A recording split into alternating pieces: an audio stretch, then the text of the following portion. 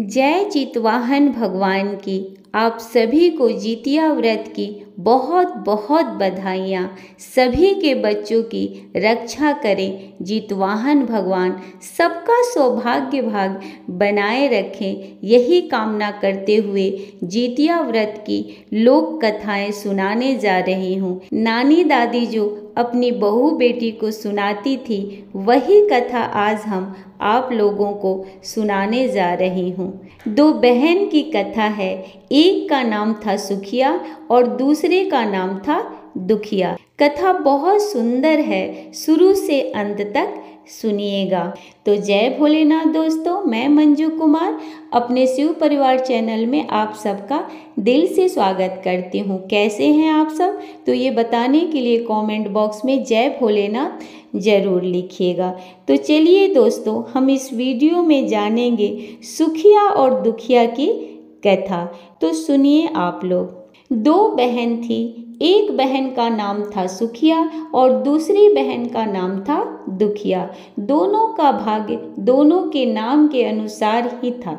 सुखिया बहुत सुखी थी और दुखिया बहुत ही दुखी थी। सुखिया के पास बहुत धन दौलत था, लेकिन दुखिया के पास कुछ भी नहीं था, परंतु सब होने के बाद भी सुखिया दिल से बहुत गरीब थी, पर दुखिया दिल की अमीर थी। सबके लिए उसके दिल में प्यार था, ममता था। दोनों बहन एक ही गाँव में रहती थी। दुखिया सुखिया के घर में झाड़ू बर्तन करती थी, खाना बनाती थी और जो बचा हुआ बासी खाना होता था, वो अपने घर ले जाती थी। वही खाना खुद भी खाती थी और अपने बच्चों को भी खिलाती थी। जीतिया व्रत का समय आया। दोनों बहन जीतिया व्रत करने की सोची।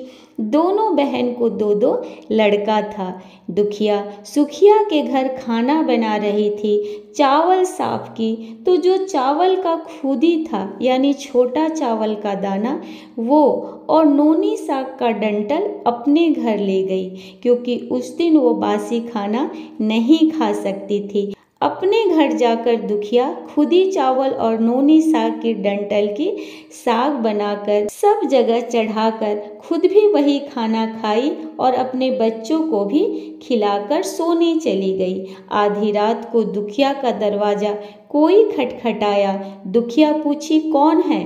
तो बाहर से आवाज़ आया, हम हैं, दरवाज़ा खोलो। दुखिया उठी और दरवाज़ा खोली। सामने एक बूढ़ी अम्मा खड़ी थी। दुखिया बूढ़ी अम्मा से पूछी, इतनी रात में क्या बात है अम्मा, जो आप आई हैं हमारे यहाँ?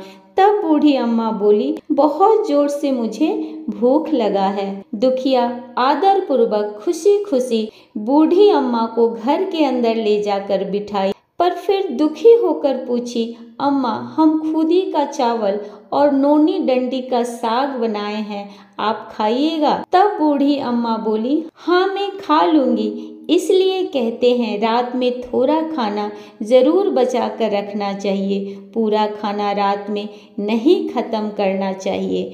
दुखिया अम्मा को खाना खिलाई। बूढ़ी अम्मा खुशी से खाना खा ली, फिर बोली, मुझे रात में अच्छे से नहीं दिखता है। मैं इतनी रात को घर कैसे जाऊँगी?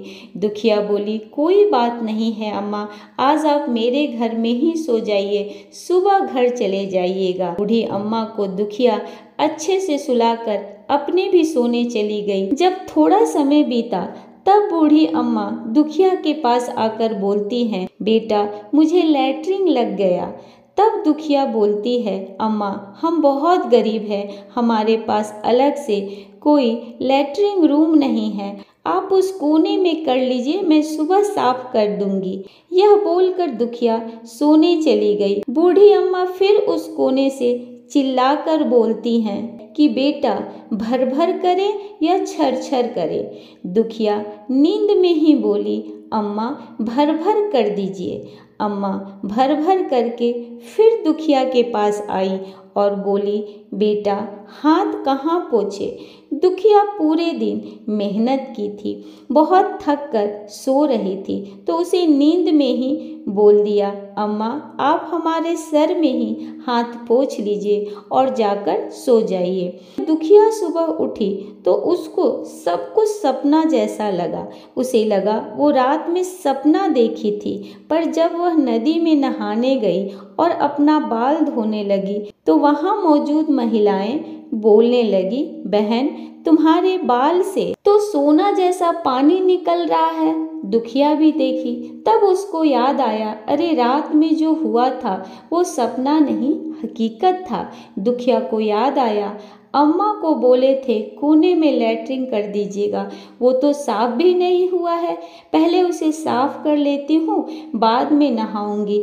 फिर वो दौड़ के घर गई। घर जाकर देखी कि जगह जगह सोना का लीड रखा हुआ है। बहुत सारा सोना का सिक्का भी घर में रखा था।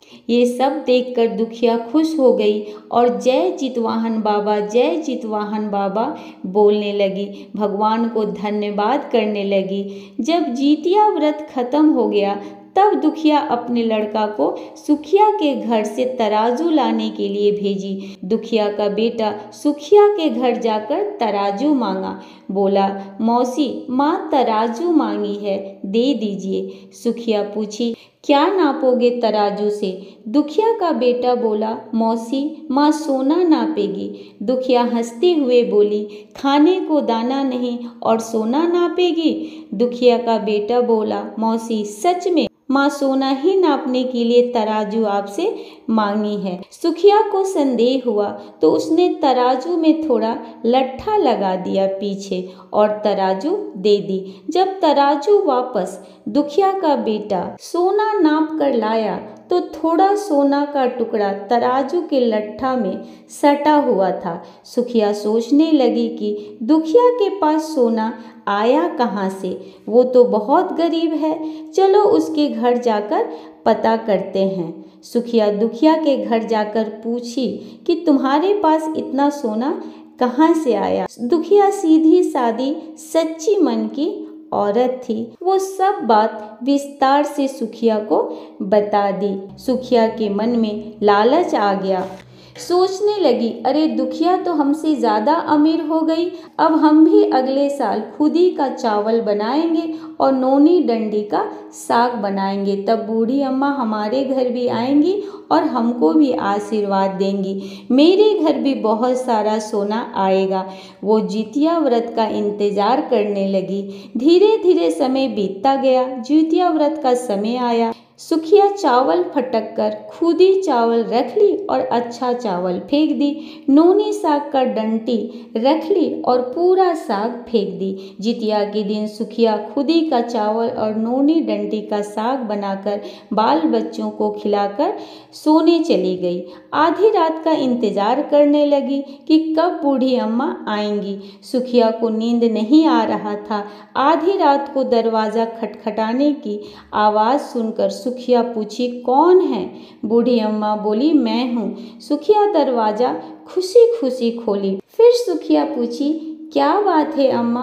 आपको कुछ चाहिए? तब बूढ़ी अम्मा बोली, हमको भूख लगा है। सुखिया बोली हाँ अम्मा, आइए, मैं आपको खाना देती हूँ। और सुखिया खुदी का चावल और नोनी डंडी का साग खाने को दे दी। फिर अम्मा खाकर उसी तरह बोली, रात में अपने घर कैसे जाएँ, हमको दिखता नहीं है। सुखिया बोली, मेरे घर सो जाइए, सुबह घर चले जाइएगा।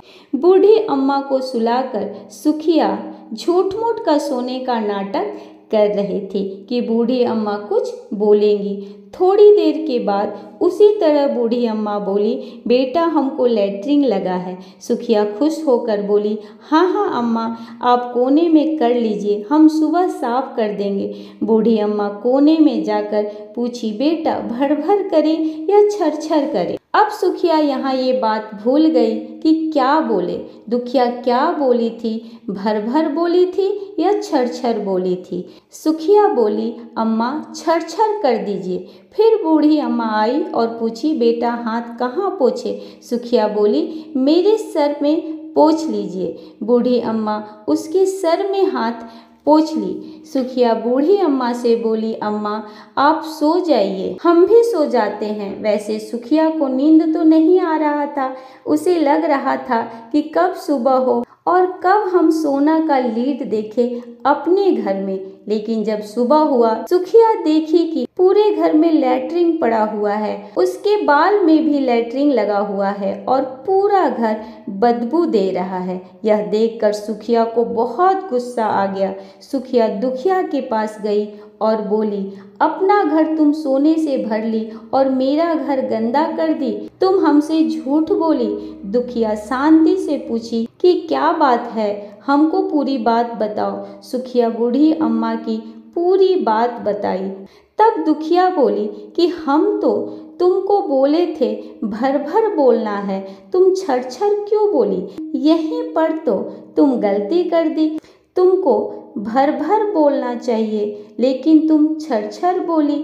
फिर दुखिया बोली, तुमको तो पता था कि बूढ़ी अम्मा के रूप में जितवाहन भगवान आएँगे। हमको तो ये बात पता नहीं था कि बूढ़ी अम्मा के रूप में हमारे घर जितवाहन बाबा आएँगे।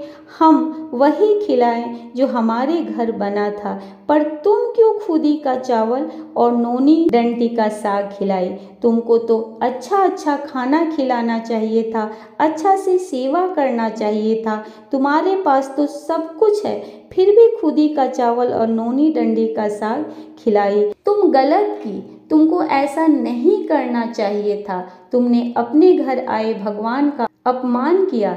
दुखिया सुखिया को इस तरह बोली और इसलिए कहते हैं, लालच नहीं करना चाहिए। तो आशा करते हैं ये कथा आप लोगों को अच्छा लगा होगा। तो सब बोलिए, जय चितवाहन बाबा की और जय भोलेनाथ।